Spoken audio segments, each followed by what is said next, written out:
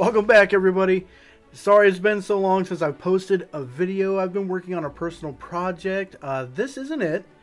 I had to put it on pause because I needed to learn a little more about animations and interface widgets. So, um, big shout out to Gorka Games. They have a really cool tutorial for an RPG. Now, I'm not making an RPG, but I needed to learn more about animations and blend spaces, and he has really good tutorials. I'm going to put a link to the video uh, where I learned about uh, the stealth mechanics for third person games and uh, user interface and relationships therein. So he can explain it better than I can. Uh, my bag is more level design and graphics. I can make something as real as uh, as real as you want and, and a level as expansive as you want, but animations are not my bag yet.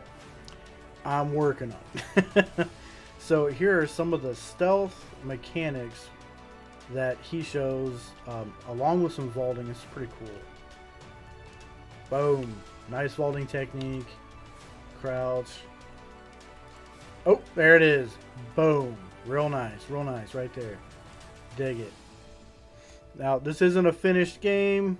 This is not not even anything close to what I'm doing, but um, the mechanics and obviously uh, the, the lessons learned in animation and blend spaces go pretty much hand in hand with just about every game you want to make.